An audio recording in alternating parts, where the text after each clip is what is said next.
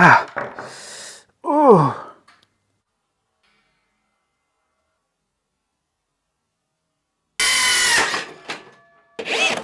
Ja.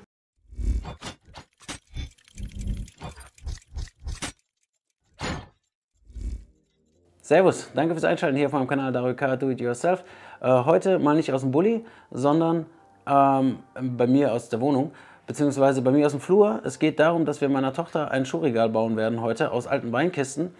Ähm, und da will ich euch mitnehmen. Dazu habe ich mir besorgt sechs solche Wein aus deutschen Landenkisten. Die kennt man eigentlich aus dem Bauhaus, kriegt man die, glaube ich, beziehungsweise da kennt man nur die großen, diese Obstkisten. Ähm, und dann auch in neu. Ich habe hier so richtig Vintage-Kisten, die lagen irgendwie bei meinem Kumpel schon 30 Jahre im Keller oder so, also die sind auch schön durchgetrocknet. Das, das sieht auch richtig verranzt aus, dementsprechend geil zum Umbauen.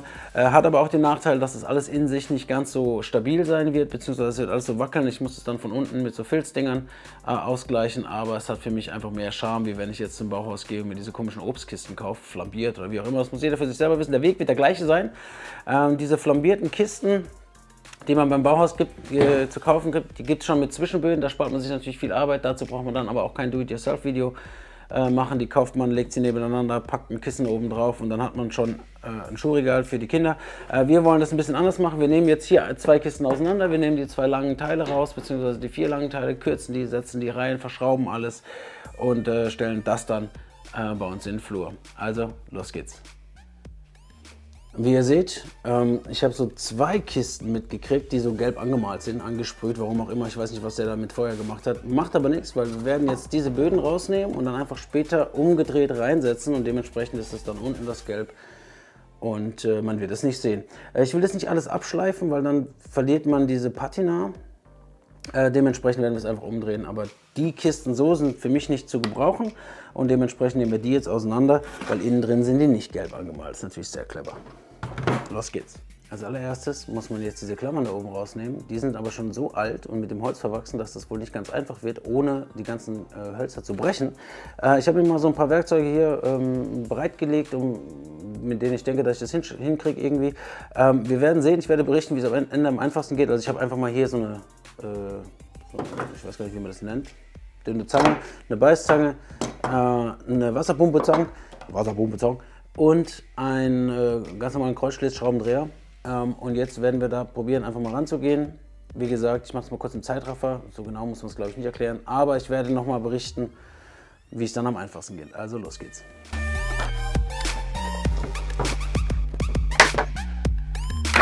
Ah.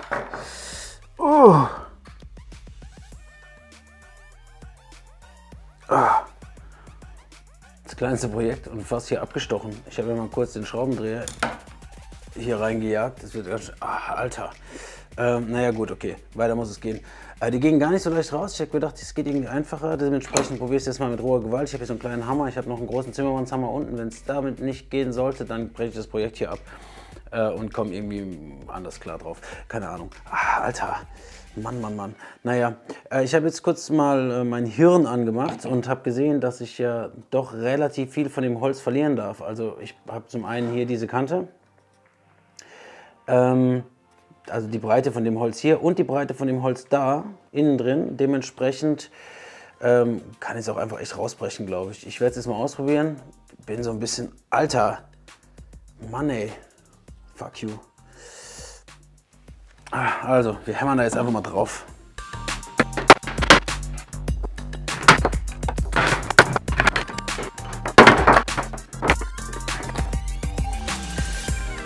Einfach ist einfach anders. Ne? Die Dinger sind so verrostet, die stecken da echt drin, diese Nadeln. Ähm, die kriegt man kaum raus.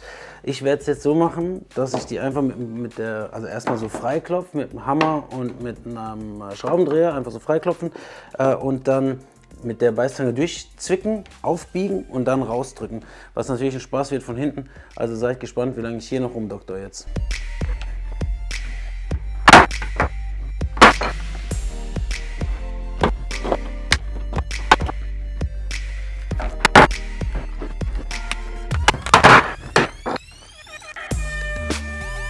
Also das funktioniert alles nicht so wie geplant. Äh, die sind von unten auch nochmal vertackert und zwar jedes nochmal mit zweien. Äh, die brechen auf jeden Fall. Ich habe mir schon halb die Hand aufgeschnitten. Ähm, Ich muss mir was anderes einfallen lassen. Vielleicht sollte ich das sägen. So, also das funktioniert überhaupt nicht.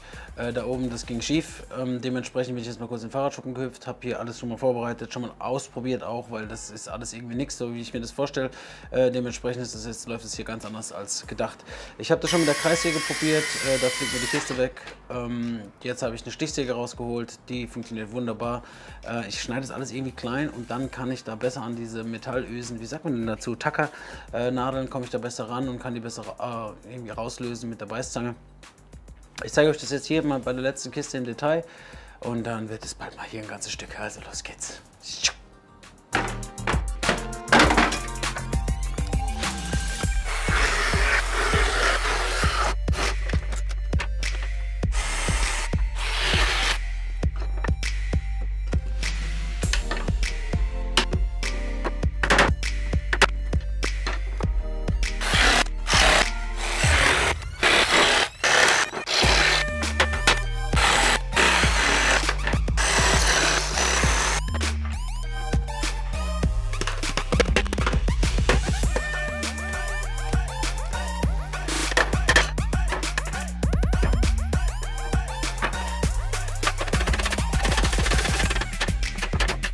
Schneiden wir das ganz knapp hier ab.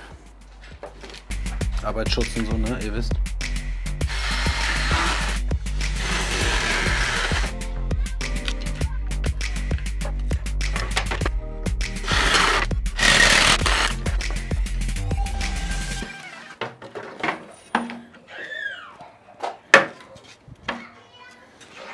So, man sieht, ähm, dadurch, dass ich die doppelte Länge vorhin hatte, die doppelte Breite von diesen Dingern hier oben, äh, die ich mir eingespart habe, dadurch, dass ich das rausgebrochen habe, habe ich jetzt richtig Luft. Äh, das heißt, oh, äh, ich kann mir hier ungefähr die Breite anzeichnen.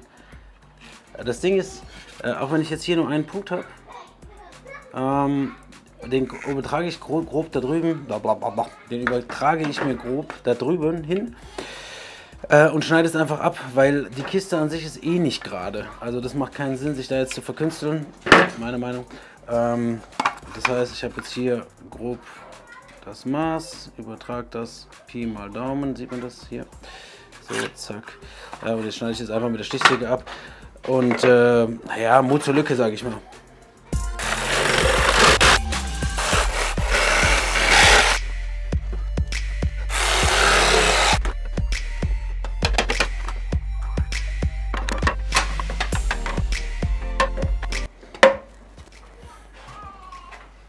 Ich habe das jetzt grob in der Mitte ausgerichtet. Das messe ich mir nochmal durch, aber gerade muss das alles nicht werden. Wie gesagt, also ein bisschen ins Wasser, aber äh, das passt hinten und vorne alles nicht. Muss es auch nicht. Ich lege das jetzt kurz ins Wasser.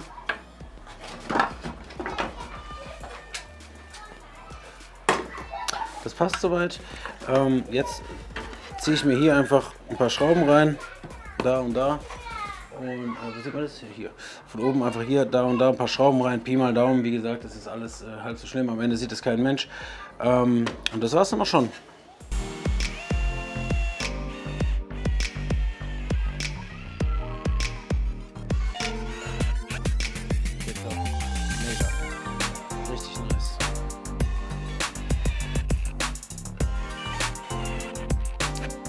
Geil.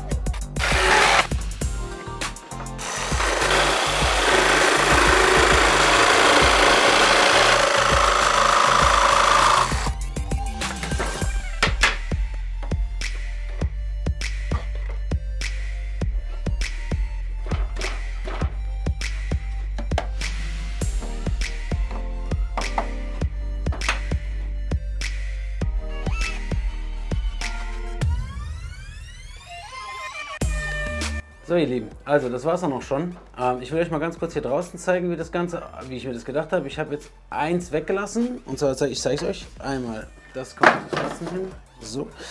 Ähm, die zwei da, zack, zack.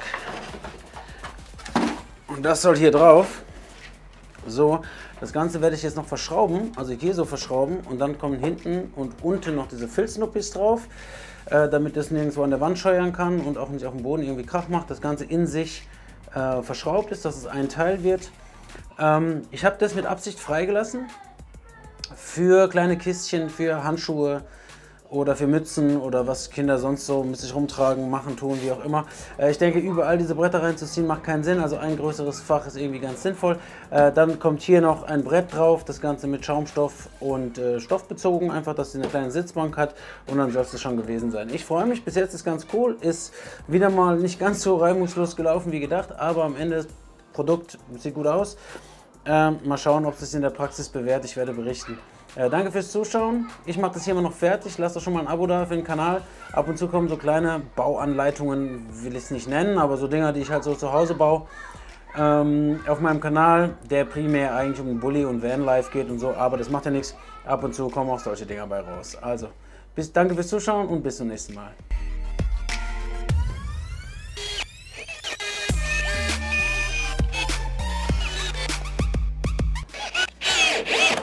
Ah. Why? Why?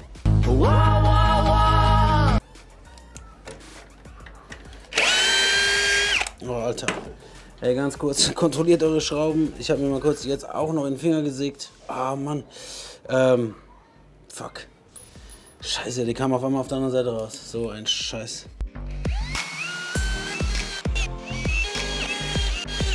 Ich hatte irgendwie das Gefühl nicht los, dass ich die falschen Schrauben benutze.